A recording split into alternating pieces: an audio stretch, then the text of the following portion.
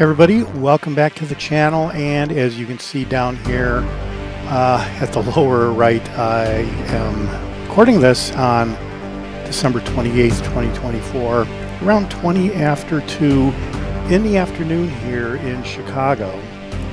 And yeah this is ultimately going to be a Seestar video but it's not going to feature the Seestar in itself. What it will feature is how to set up Stellarium with the proper sensor settings and telescope settings so that you can uh, basically use the Seestar sensor that you see right here.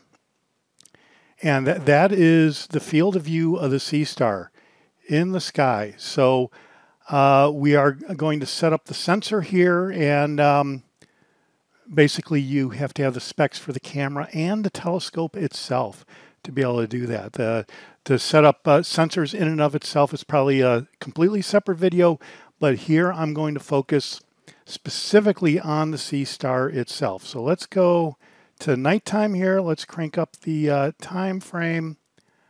Uh, this is um, 20 after 9 in the evening.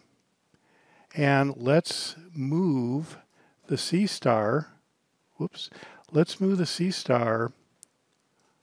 this is the field of view that you would normally get with the Seestar. And with the new framing mode, you can double, effectively double this field of view and rotate the field of view to be able to uh, get a mosaic. See, you can also come over here. A lot of people have done the same thing here. Here, let me uh, rotate the sensor to be able to get the Horsehead Nebula. That will be a pretty good image right there just from the um, normal sensor, the, the normal uh, Seestar sensor in and of itself. But when you go to expand the sensor uh, to be double that uh, for your framing mode, you can get a lot more of the Horsehead Nebula complex area right here uh, in your mosaic image. So to set up the sensor for the Seestar, it's basically a two-step process. You have to set up the uh, sensor settings here, and here you can see I have uh, sensor number seven. I've got six other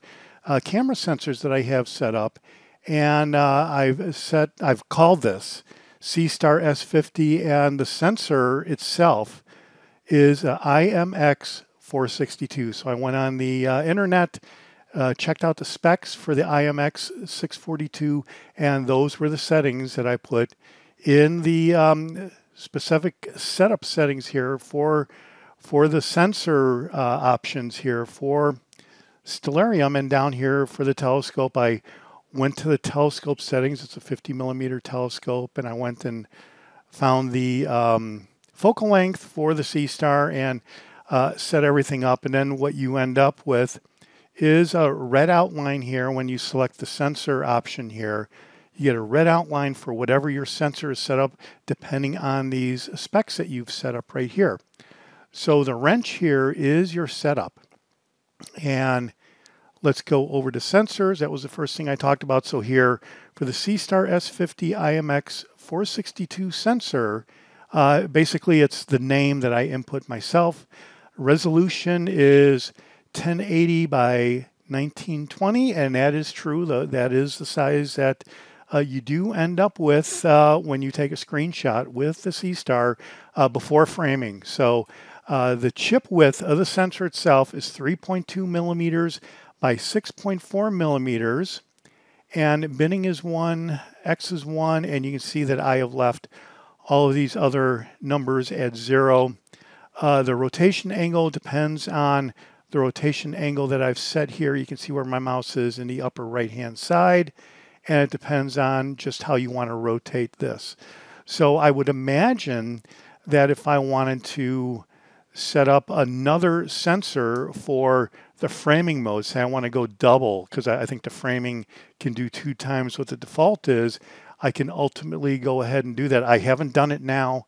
I am just uh, going ahead and showing you what I have for the basic default Seestar because I use this quite a bit in the last six months since I've purchased the Seestar to see, you know, when you're looking at the Helix Nebula, what are you going to end up with? What is a Seestar going to get when you try to look at the Whirlpool Galaxy. And well, with this setup here and Uh, in Stellarium, you can easily see what the Seestar sensor, what kind of field of view it's going to cover, and what the object that you're interested in is going to look like in the Seestar. So, all right, so that is it for the uh, sensors. So now the telescope here, you see that focal length is 250 millimeter, and the aperture of the main optic is 50 millimeters. The Seestar S50 is the 50, S50 is 450 millimeters uh, for the aperture of the main um, the main telescope. And I've just, uh, I think this was default horizontal flip and vertical flip.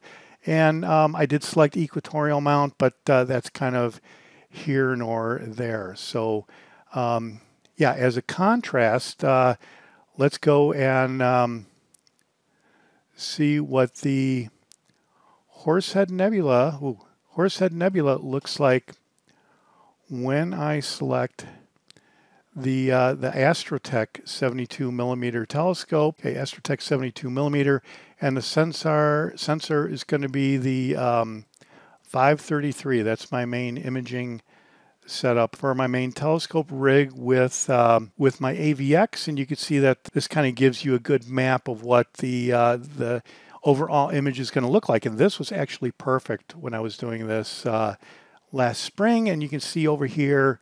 Uh, you the setup includes a setup for your guide camera, and you can see that you do have a great option for guide stars here. It's a, a guide camera is a um, ASI 174 mini, as you see right there. So yeah, it's a very useful tool to uh, set up Stellarium to be able to uh, get a good idea for what your ultimate image is going to look like when you're out at night with uh, the stars. So yeah, I hope I explained this uh, well enough. Uh, basically, as I said, you just go over here on the wrench. For the telescope, you set up um, for the Seestar S50, 250 millimeter focal length, 50 millimeter uh, diameter for the main aperture of the Seestar telescope. And then for the sensor, Seestar S50 IMX 462, these are the settings that I used, and this has served me pretty well. So uh, hopefully this will help with your um, planning for your Seestar imaging at night. So I haven't done any actual Seestar videos in the last month or so here in Chicago because it has been either uh, too cloudy or extra, uh, way too cold. So uh, yeah, that's it for the video on the Seestar setup and sensors in Stellarium. So if you have any questions, let me know what you think down below.